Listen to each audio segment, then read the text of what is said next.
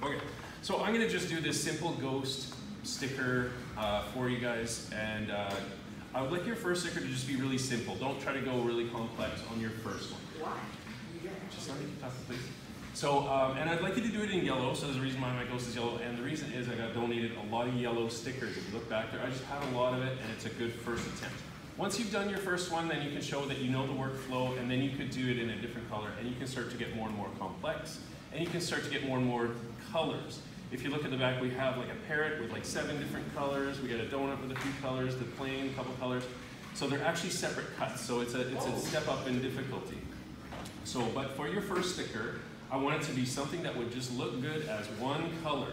It can be any logo, you can do a Nike logo, you can do it whatever, but simple in terms of the geometry and Sure. one color only, okay? So let's start from the beginning. Uh, open a new file. So uh, the default, uh, sorry, not open, start a new one. And then the default is the ACAD, that's good, just go open. So this is a brand new uh, AutoCAD file. First off, you're gonna wanna get a picture in here probably. I mean, you could freehand one, but I'm not a great freehand drawer. So I would suggest finding one online, especially for just your first one. So finding a ghost, um, oh yeah, and I often use the word clip art because it's kind of nice, simple uh, drawings then.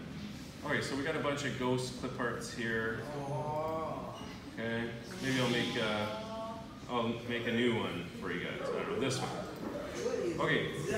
Now, there's sometimes issues with saving these things. Let me try a trick I learned actually yesterday. If I go save image as, Okay. Um, okay, we have a ghost. Okay, that was, uh, let's try that one. more. Save image as. Save image as, not the link. And where's my dialog box? There we go. Um, it's trying to make not a DWG. Try to put JPEG as the uh, extension, and let's see if that'll work. And then just be careful where you save it. Save it in your place. This is where I keep my stuff. Csuka's Designs. oh, no, I don't want to replace it because I did this yesterday. I want to call it something else. Maybe Ghost 2 Have I got one of those. There we go. Okay, so I have an image saved locally, and it's important that it stays in your folder because it's going to refer to it in AutoCAD. Okay, so where my new drawing. Um, now, you could probably find it and uh, drop it in there, but I just, I've got so many things open. Here's Ghost 2. Drag and drop usually works. Hey, this is good. So it's wanting me to put a location. And if you've seen what I've done before, I like to just put things at zero, zero, so I know they're just kind of in the center. It can be come in handy in some later stuff we will do. Um, then if you notice, it gives us some numbers in terms of the size. The default, I think, usually is one inch wide by a little bit more than an inch tall. So that's only this big.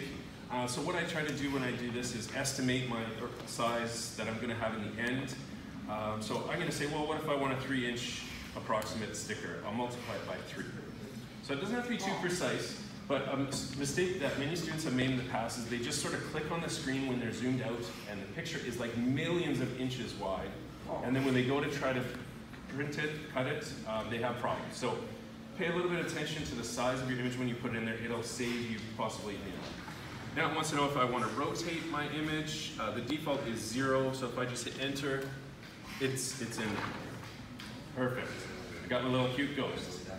Now, how do I trace that? I'll start trying to trace it. Uh, sometimes you'll want a straight line tool, sometimes you want maybe arc, maybe arc for his head, but if you check it out, it's a white ghost, and I'm making white lines. How well do you think that's going? Not well at all, I can't see anything. So I'm gonna delete that. Actually, did pretty good. Um, I suggest highly a fresh layer just for a picture. Anytime you're using pictures, call it pick if you want. Um, and then here's a trick.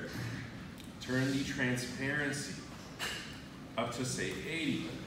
And that is gonna make it 80% transparent. But currently this ghost is still on layer zero, the default layer, so I have to actually select it by grabbing uh, an edge here. So now I have it selected, and then I right click on it and we go properties. I can change it from layer zero to layer called pick. Okay, awesome. So that is now much more faint, and now I can try my arc again. So arc, there's many ways to make an arc, but that, that works pretty good. So you can use straight lines if they're in your drawing, you can use arcs, you can use circles, rectangles, whatever. Um, but for the rest of this guy, I'm gonna switch to a cool tool called the Spline Fit. Okay, I like this one. Make sure that it uh, snaps onto any other geometry that you have. Otherwise, um, for example, if I started here and traced this ghost, what do you think would happen when you cut your sticker right here?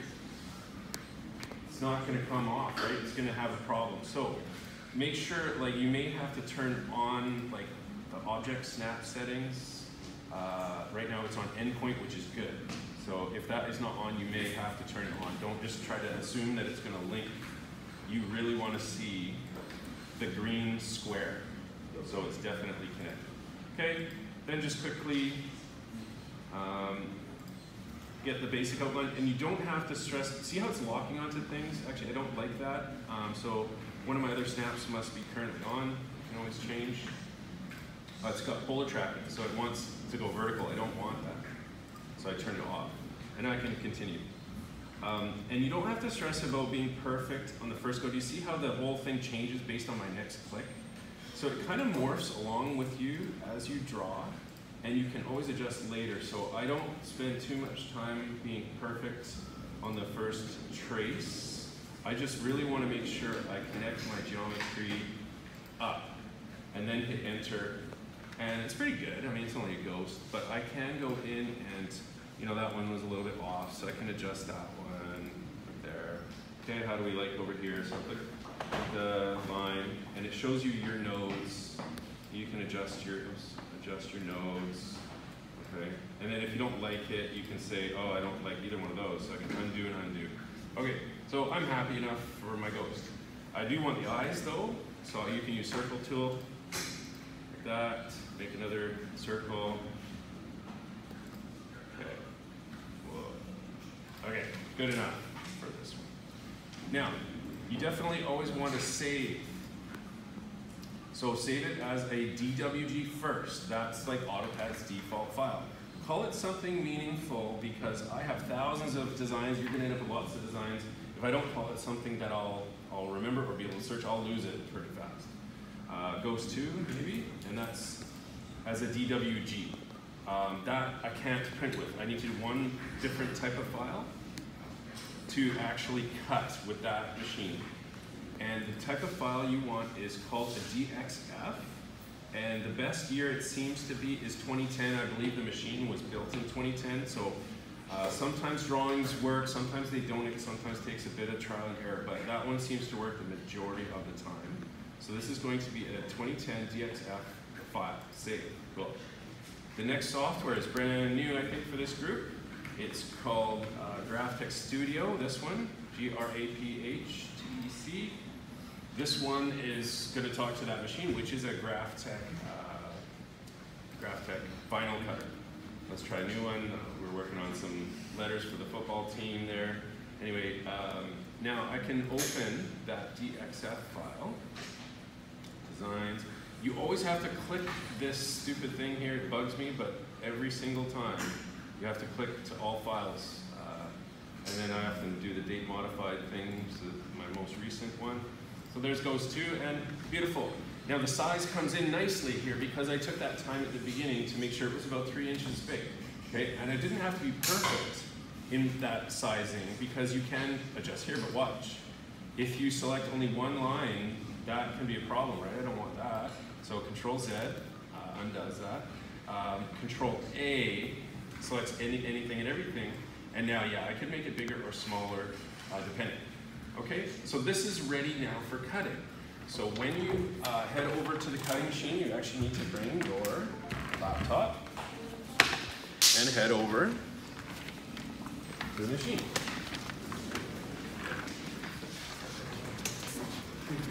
There is a USB plug that is connected to our machine. So plug that in, okay? And then it's a matter of getting, if you need to stand up at the back, feel free to do that. Now it's a matter of finding what sticker piece you want to use. And please, what color did I suggest first? Yellow. Yellow. Just, I have so much yellow, let's just practice on yellow. yellow or orange? Yellow. Great. Okay, now, um, can I have somebody turn on the lights, please, uh, so we can see a little bit better here? If you need to stand up and come closer, now is a good time to do that.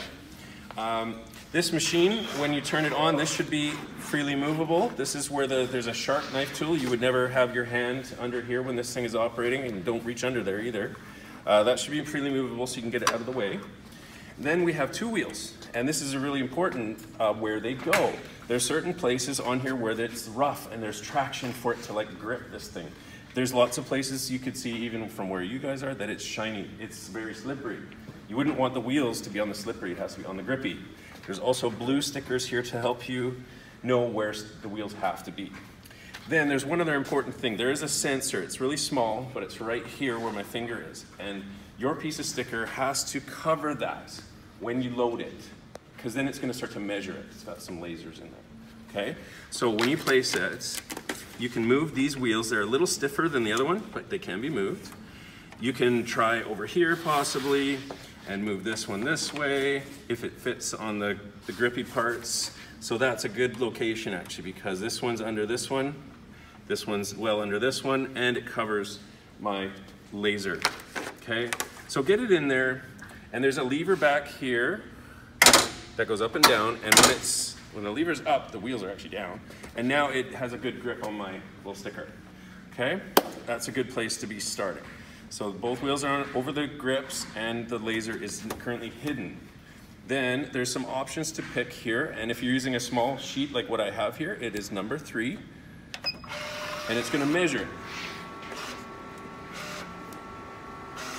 Okay, so it's going to even tell me the cuttable area, which is 3.6 by 7.3 for this piece of uh, sticker, which is uh, definitely, definitely big enough for what I want. Um, now, that is the area between the wheels, so you kind of want your wheels to be kind of as wide as possible without falling off uh, to give you more cuttable area. Then on screen here, uh, the default is a regular page size, but if you select the A4, you can tell it to go automatic. Let's see if it works today. Yeah, that's good. So that is more accurately what it has measured for my piece. Now I can go maybe control A to select everything and then grab it, move it over. It's a little bigger than what I have to cut, so I'm just shrinking it down a little bit. Oh yeah, that's on there, cool. Uh, and then um, this is called the design window. It's where you make your design choices. And then when you're finally ready to cut, there is one important little button that I'll, I'll leave it on covering over. If you can uh, see where it is on the screen, it's in the upper right hand corner. It's called the cutters window. This is the final step before cutting. Okay, and then if you've done everything else correctly, you should only need to hit the one button here, send to cutter. And we're in business. This kind of cut me very fast.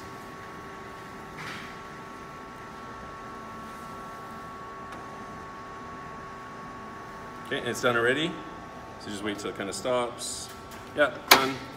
I'll lift, like pull that, push that lever down, releasing the wheels, and I have my sticker cut. You see anything? No. No. It's because it just made very small lines on there. So I actually have to uh, cut some things away. Um, I need some scissors. Okay, so try to save what's left if possible. Hard to see. Know, I'm trying not to trying to go fast here, but so I could save that piece. Uh, if it is smaller than this, it's probably not very usable. Um, general rule of thumb is kind of like a size of a fist. If it's smaller than your fist, it's probably not very usable here, so you could um, put it in the blue recycle bin. Uh, but if it's bigger than your fist, try to save it for somebody else. And oh yeah, there's a weight here to try to compress them because they're often curled. Um, so put it under the weight. Okay. Then I just cut my fingernails this morning, so this could be a challenge. There's um, some tools that we have that can get under this thing. Yeah, no pressure, right? Who's got some fingernails? You got some fingernails? Get that corner going for me, please. There we go, good job. So go ahead, you can do it if you want. Just go ahead and peel away. There we go, ghost shape is good. And then there is two, of course, little eyeballs that need to be removed. And I have, I'm not going to do it on camera here, but there's little dental tools that I have at my desk that you can borrow. You would actually sort of um, pick at that eye, the eye holes and get that out of there as well. And then, I guess the last thing is transfer tape. Um, there's a roll of tape on my desk that's pretty large. Tay zooming in on it perfect. That is called transfer tape, and you would maybe then next. You can try to just do this by hand if you wanted to peel it off and put it on your binder. It's fine if you did that, but um, most of the time for something intricate, like you would want to preserve the location of everything, right? So you would put transfer tape on top carefully and cut that, and then peel it from this backing and get it onto transfer tape, and then maybe I'll just uh, do this one by hand. So then I can probably get the eyeballs out. Yeah, eyeballs are out. So by hand is fine. Oh, maybe I'll put it right here. Okay. There we go. Okay, cute little ghost. Um, but transfer tape is necessary if you want to preserve the location of difficult things, and then you apply it to its final location. Get it down. Try not to get air bubbles underneath it. Try to get it down flat. That's it. Thanks, Tay.